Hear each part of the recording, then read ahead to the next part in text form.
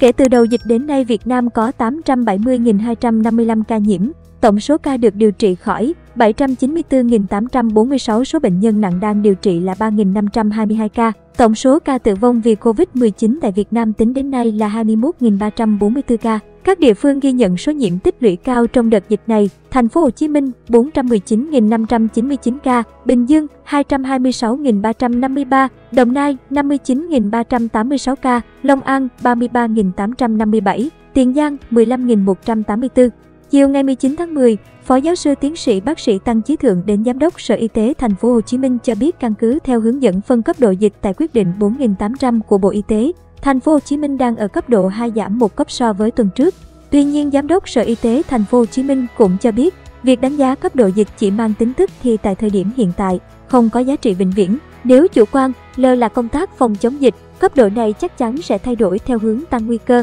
Theo Giám đốc Sở Y tế, các cơ sở y tế luôn phải trong trạng thái sẵn sàng các phương án để thu dung, điều trị các ca mắc COVID-19. Trong thời gian tới, ngành y tế thành phố sẽ tập trung tăng cường công tác giám sát để cảnh báo dịch, cập nhật lại cách phát hiện và xử lý các trường hợp F0 trong tình hình mới theo tinh thần nghị quyết 128 của chính phủ và quyết định 4800 của Bộ Y tế, đánh giá cấp độ dịch thường xuyên theo từng cấp phường, xã, quận, huyện để kịp thời có biện pháp phù hợp. Bên cạnh đó, các quận huyện xây dựng kế hoạch chi tiết để ứng phó với các tình huống theo hướng dẫn của ngành y tế, có diễn tập từ tình huống khó nhất. Trong công tác điều trị, hiện thành phố đang điều trị tại các bệnh viện tầng 2, 3 là 32.885 bệnh nhân, số ca F0 đang cách ly điều trị tại các khu cách ly tập trung thành phố Thủ Đức và các quận, huyện là 18.043 người. Điều trị tại nhà là 28.119 người, Phó Giám đốc Sở Y tế nhấn mạnh công tác điều trị cần tiếp tục tập trung để cứu chữa bệnh nhân. Sở Y tế cũng triển khai lộ trình ngưng hoạt động các bệnh viện giả chiến và tiến hành hoạt động mô hình bệnh viện 3 tầng,